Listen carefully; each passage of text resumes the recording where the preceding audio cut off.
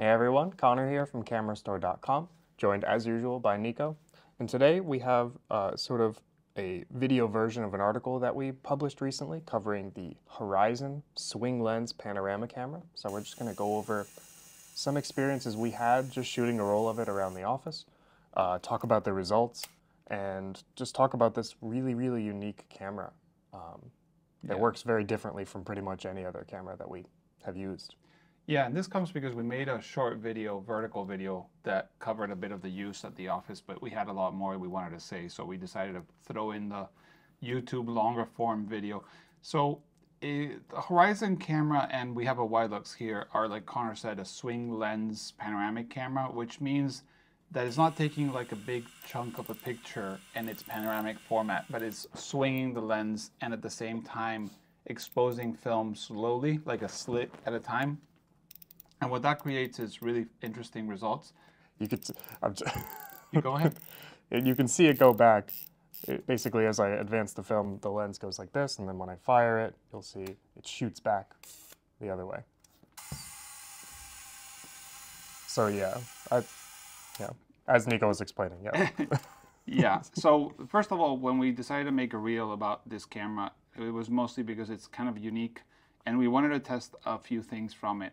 As a swing lens camera, you can do cool things like taking two portraits of the same person on the same piece of film.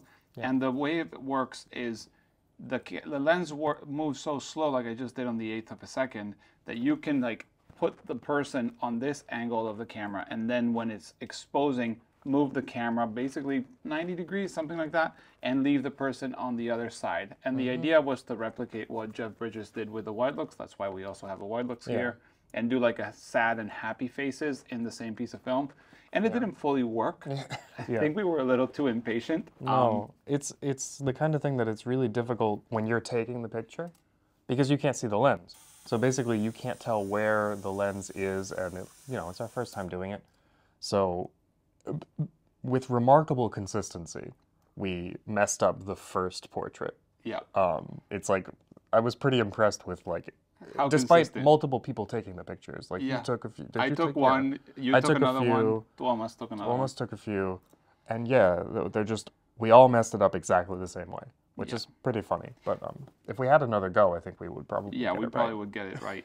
so one thing that I, I would like to mention, we didn't get to mention on the on you did in the article, but we did it on the on the short, is the way you load this film is really funky Yeah. in the sense that the film has to go through like a roller, then the the back pressure plate per se is not really a pressure plate. It's kind of like a half drum, like uh, the other side of the lens drum, in a way. And then it has to be spooled. It feels really strange when you're winding it because it did look really loose when you loaded it.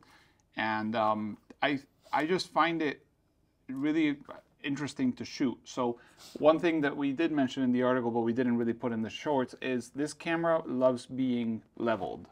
The moment you turn this camera downwards or upwards, it will make kind of like that tiny planet horizon thing, Yeah, which we didn't test in this in this video per se, but we do know it does that. And you can actually notice in a few of the pictures of the office that the windows do a little bit of that yeah, um, mostly probably because they're a little lower than the line of the window. You have to be like exactly at the level of something straight to it to preserve the straight line. This Horizon uh, we can mention because the Widelux has three shutter speeds. This Horizon has actually six shutter speeds.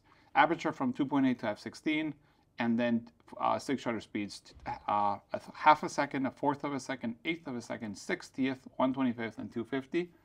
yeah. And if you're trying to do the creative stuff, I would recommend an eighth to a fourth. It's Yeah. very slow.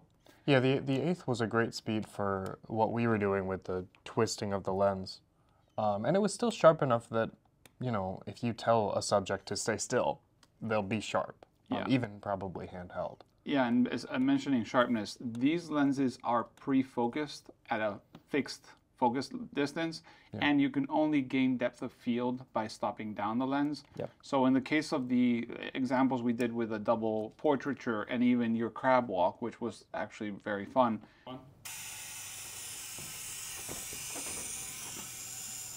we kept it at 1 8 f16 on purpose. Mm-hmm. So that way we would be in focus at the distance we were. Yeah, because we were pretty close. Yeah. I mean, we have um in the article, and I guess we can throw it up here too if we want. Um, the depth of field versus minimum focus distance. If you're shooting at f2.8 or f4, the subject has to be like, it was like six meters away or something. Something that made it unmanageable to do in our studio. So we sort of needed um, that f16 aperture in order to just have the good working distance. Yeah, and the good thing about the the slow shutter speeds, because you mentioned it in the short, and we I think you mentioned it in the article too, is when you shoot at one eighth or one fourth or one half, which might sound for anybody shooting traditional cameras, if you try to shoot a half a second on a Hasselblad or a Nikon FM3, uh, you're gonna have issues with you know your like shutter slap and your hands shaking. But this because it is exposing every piece of film to one eighth, it actually takes like four seconds to go all the way around. And if you're doing half a second, I won't do it because it will take forever. It will take like seven to eight seconds really to do the whole time, thing. yeah. So you can hand hold the camera with these very, very slow shutter speeds and still get very interesting results and Mm-hmm. sharp enough. I don't think they're known to be the sharpest cameras in the world, but it is a very creative and fun camera to shoot. Um, and it is what they mentioned to be true panoramic because it is Yeah. doing the panoramic swing, as in X-Pans or Linhof Technica 617 is just shooting a huge circle and cropping a panoramic look Yeah, of it. it's true. I mean, the the, the X-Pan gets all the all the praise for being a true panorama camera, but really it's just like a medium, Medium format, format, lens yeah. that just is in a 35 millimeter body. And that's why the Hasselblad has a 45 mm f4 because it is basically a medium format camera. And I'm actually check what this is. I'm curious.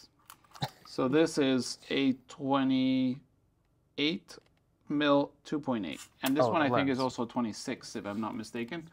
So they are theoretically wide Yep, 26. lenses, but again, because it's moving that turret, one thing you have to prevent, for example, is holding the camera with both your hands. Yeah. You have to kind of hold it like this. So I find it interesting. I shoot it like this. Yeah, it was definitely more comfortable on a tripod. I think the the Widelux does a better job because it has this like ultra wide angle with the arrows, on the, the drum in the front that tell you that hey, if your if your fingers cross these lines, they're in the shot. So Yeah. even holding it like this, they're in the shot. Yeah. Which And if- yeah, if you are going to shoot one of these, because I've this Widelux is actually mine, the best thing I've found is don't look so much through the viewfinder. Well, this one has a bubble in the viewfinder, which the Widelux doesn't. But check Yeah. the viewfinder, uh, the bubble, because keeping it level will make pictures much better than keeping it like accurate to this to the how wide it is because it is very similar to the human like width of your eyes so you kind of can tell from a distance what will be in frame and what won't but the bubble will really keep those images not looking very funky. And I've shot a ton of it with this, and it got really good results the moment it's leveled. Mm. But I've never had a problem where nothing is in frame because I didn't look through the viewfinder.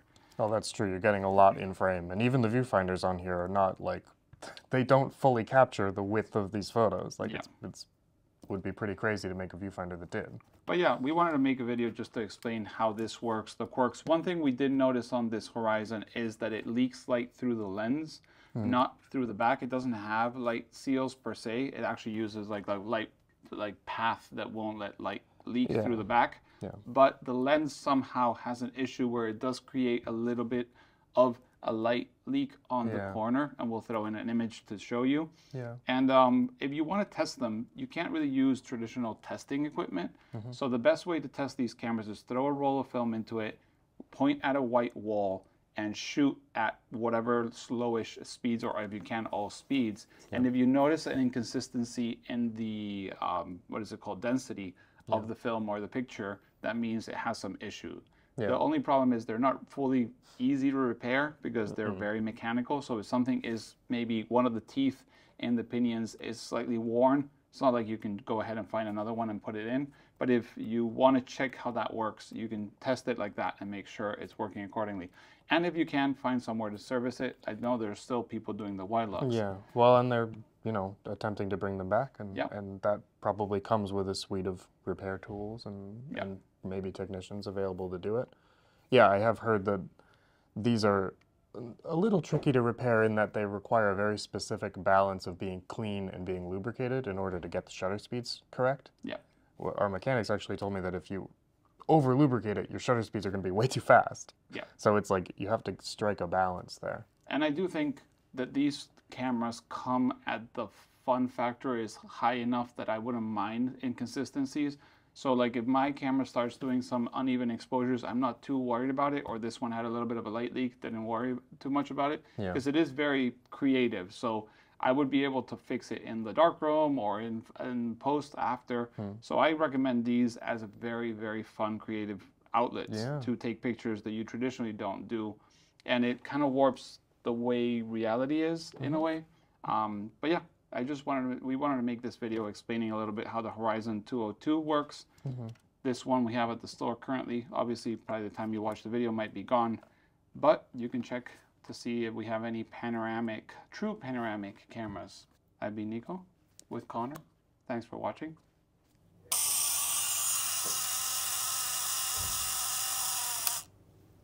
I have no idea if I did that right. I might uh, have been too fast in the beginning.